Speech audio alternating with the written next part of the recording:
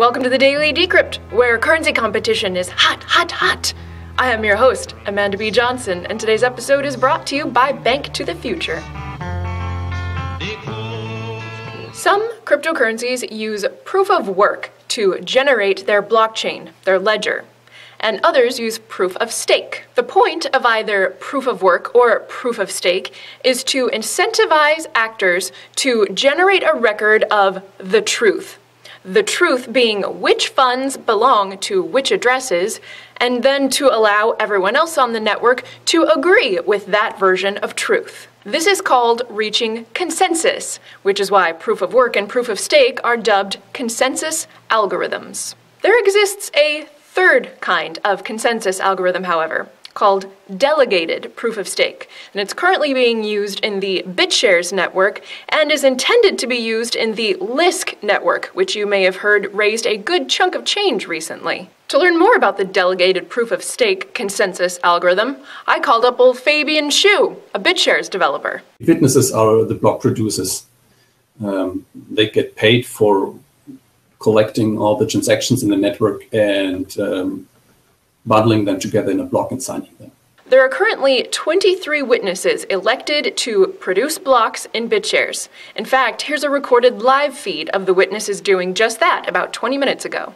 Now, these 23 witnesses were voted upon by BitShares stakeholders, and the existence of more witnesses or fewer witnesses could be decided in any future vote. Now, this is where delegated proof of stake is hugely different than either proof of stake or proof of work. In the latter two networks, anybody can join. In proof of work, if you've got a mining machine, you can join. In proof of stake, if you've got some monetary capital, you can join. Not the case with delegated proof of stake, where, regardless of capital, one is only allowed to submit one's version of the truth, blocks, if one is elected to do so. If I wanted to destroy the BitShares network, if I wanted to defraud it and double spend, would I need to get a majority of witness positions voted to my possession. Like basically what I need to trick the stakeholders that I was like a nice, trustworthy person and then get them to vote me to have a lot of witness nodes or how would that work? Actually, you could, you could do that. Um, you could either um, like uh, convince others to vote for you and obtain 51% of the um, yeah, voting power. For instance, a proxy could achieve 51% or more voting power, then uh, he decides essentially anything in the network. So he could he could replace the whole committee, he could replace all the witnesses. Um, but then on the other hand, um, if he has that kind of power, then uh, it's okay because he owns the network. And why would anyone want to become a witness in the first place?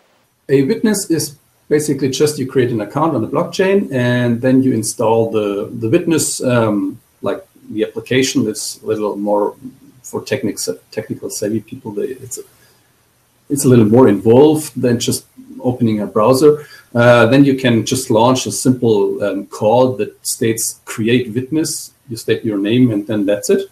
Then you have the witness account created uh, that you could use to deploy your service. Um, you could get paid or you get paid one and a half BTS per successfully signed and approved block. Mm-hmm. Um, but you need to be approved by the shareholders as an active witness. So you mm-hmm. need to run a campaign and say, okay, this is uh, maybe you stay anonymous, um, but you least, at least show that you can manage the, the network, like mm-hmm. participate in the test network, um, show that your hardware is um, like uh, stable and reliable. Uh, and then you just need to tell people that they should give you a chance for voting. All right. So when when witnesses are elected in BitShares, mm-hmm. uh, there would you is it is it true to say there is a degree of trust involved? Yes. Okay. I would say so. Yeah. Um, the thing is also that witnesses are uh, constantly monitored. So um, if if they do something that's not okay, um, shareholders can be alerted by that, and then they lose their reputation. Mm-hmm. And um, when, when, if you ever looked into reputation, it is very hard to gain reputation and very very easy to lose all of it instantly. So um, you probably don't want to mess it once you have been approved as a witness, as a trustworthy person. And would you say, so that's in delegated proof of stake, would you say that in regular proof of stake or proof of work that there is any trust involved? Um, okay, in, in the original idea of proof of work, there is no trust involved mm-hmm. um, because, um, yeah, the consensus mechanism just involves work. Mm-hmm. Unfortunately, uh, there is now pooled mining, so pooling of work, mm-hmm. which is like pretty much like delegating work. Like I, I, I'm heading my miners towards one pool, which is like I'm delegating my working power towards a pool. And then what I do is I trust the pool operators. And we all know that essentially it's like it's less than five people that control it like 60 or 70 percent of the mining power in, in, in Bitcoin. Mm-hmm. And if they decided to do something weird, um, it will take some time uh, until miners will uh, redirect their um, mining power to something, some other pool. Mm. So it, in proof of work, intrinsically there is no trust involved, but because of the technology, how how the work is like bundled together today to achieve a profit out of it. It becomes centralized. gold mining, it becomes centralized, and then it becomes also uh, a, there's a, a degree of trust involved. With the power to delegate, stakeholders have the power to keep mining or witnessing decentralized.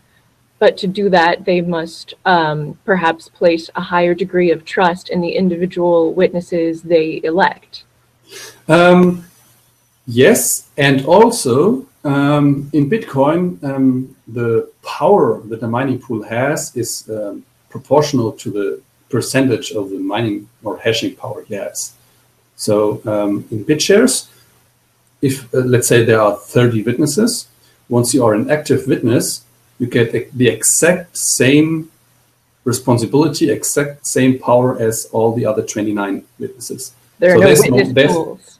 There's, there's at least no different weights in, in, in them, right? Mm-hmm. They all have the same power.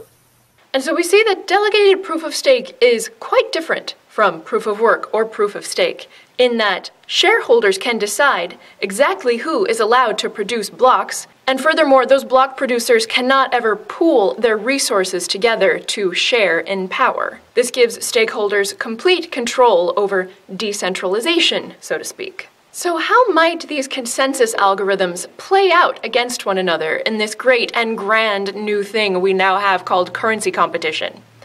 I have no idea. It's like watching the most entertaining movie ever, except it's real life. Leave your thoughts in the comments below. Today's episode is brought to you by BankToTheFuture.com, the online investment platform that invests in the future of finance. One of their investments was African payments company BitPesa, and below you can find a video link that explains the impact they have had with Bitcoin in Africa. More information can be found at banktothefuture.com. And oh, my AMA on March 26th draweth ever near. Not only will you find out what three things I traded for three bitcoins in December 2013, but in the spirit of threes, I'll also tell you which three cryptocurrency news outlets I wrote for before deciding to start the Daily Decrypt. That'll all be going down at reddit.com slash r slash the Daily Decrypt this Saturday, March 26th. Be there or be square. Bye. First of all, are you familiar with uh, Daniel Larimer's critique of proof of stake that is not delegated? Um, and what what would your response to his critique be? So I actually uh, think that the, the important thing when you're thinking about any of these markets uh, is basically the you have you have to look at the like the, the, the dynamics of the market and ask whether um, you know people who are not in the majority will be represented.